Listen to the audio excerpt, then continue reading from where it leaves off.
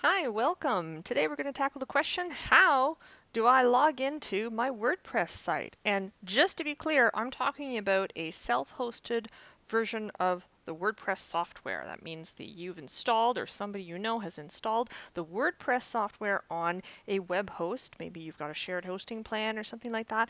And uh, now you are trying to log into this so that you can edit and configure your site. We're not talking about WordPress.com, like a, a, free blog that you would set up at the WordPress.com website. We're talking about the actual real full-blown WordPress software. Um, I'm making an assumption right now that you actually have this software installed. If you don't, you're going to have to go back and either get someone to install it for you, or if you've got a hosting plan, you can uh, follow the steps there to install uh, WordPress. We're going to assume you're already there. You've installed your WordPress site. Um, as we have right here, I've got my fresh RoboBunny attack site, which is apparently just another WordPress site. And what I'd like to do is I'd like to log in. Why do I want to log into this site. Okay, well, let's start at the beginning here. When you are using software such as WordPress, a content management system like WordPress, to create a website, you actually have two views. Okay, two ways to look at the site. There's the way that the rest of the world sees your site. And that's currently what we're looking at right now. This is what we will, you know, you might hear this referred to as the front end of your website. Okay. And this is the, this is the part of your website that the whole world sees. Okay. Um, but if you want to actually edit your site, if you want to make changes to, you want to add content, you want to change the look of it, the colors, the images, the layout, all that stuff, you're going to have to log into the back end of your website. Okay, so it's pretty fundamental, but let's just, I am starting at the beginning here. Um, so how do we log into the back end of, the, of a WordPress website? Okay, on a fresh installation, you'll usually have a link down at the bottom here called login, um, but we're not going to rely on that because the reason is, is because one of the first things you'll probably do is get rid of that link right there. Okay, you don't need to advertise to the world how to log into your site. Presumably, you want to be the only person who logs into this site, right? Right. So what we're going to do is we're going to get used to this from the beginning. Uh, to access the login page for your WordPress site, you're going to just put your cursor in the address here, and this is this is the address for my particular site. My site happens to be installed at demo.robobunnyattack.com/wordpress. Yours will be installed elsewhere. Okay, you just add your cursor to the end here. Okay, assuming you're on the front page, and you just add WP dash admin. Okay, and then we hit enter, and how do you remember it's WP admin? Easy. WP stands for WordPress. So just think WordPress WordPress dash admin, and that will redirect you to this login page. And this is where we log in. Okay. Uh, when whoever set this up for you uh, should have given you a username and password, um, or you know, if you set it up yourself, you would have your own username and password. So you're going to go ahead and enter that username. For me, it's RoboBunnyAttack. That's my username. And my password, my super secret password. Hopefully I enter it correctly there. I'm going to go ahead and click login.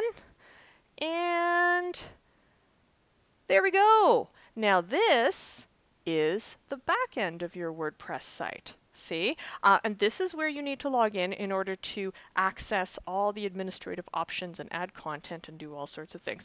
Now what I'm going to do right now is I'm going to hover over where it says RoboBunny Attack, see where it says vis Visit Site. I'm going to right click on this so that I can open this link in a new tab.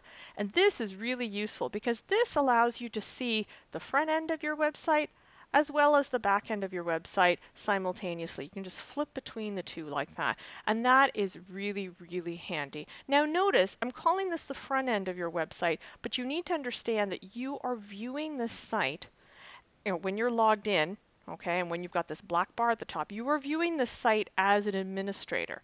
So what you see here might not be 100% what the general public sees, like the average visitor who does not actually who isn't actually logged into your site. So even though this can give you an idea of what your site is going to look like, if you want to be absolutely sure of what your site looks like, you should really open up a different web browser, okay, and load up your page there. This is what your site looks like to the general public. And when I'm developing WordPress sites, I really like to have two separate web browsers open. One web browser, and it's really easy. If you're good with your shortcuts, especially on a Mac, you can just Alt tab or Command Tab over and just swap between the two really fast like that. Um, this is where I'm logged in, and I can tell that I'm logged in because of that black bar right there. and I switch over to Firefox, just Command Tab, and here I'm not logged in. Now you might be asking, you say, why? Why bother? Why not just look at this? This looks the same. And yeah, right now it does look the same, but once you start getting into more advanced uh, functionality, you start configuring your site, you may find that there are certain things uh, that um, you need to be logged in to see and certain things that the general public will not see. So this is really handy to just kind of zip back and forth like that. Here in Chrome, we are logged in, and in Firefox, we are not logged in. Use the web browsers of your choice, okay? But that's why it's handy to have multiple web browsers installed on your computer. Okay, so we've logged in to our website. Um, that's pretty much all there is to it. To log out, you would just hover over here and click the log out button, and that's always a good idea to do once you're done doing any sort of work on your website. The front page here is a dashboard page. You can dismiss this message, and then you see all this information. We're going to learn eventually what all of these things mean, um, but for now, the important thing is you now know how to log into your WordPress site. All you need to do is just add that wp-admin to the end of the address of your website, and that will redirect you to a login page and you're in. Okay, thank you very, very much for watching. I hope that that was helpful, and I'll see you next time.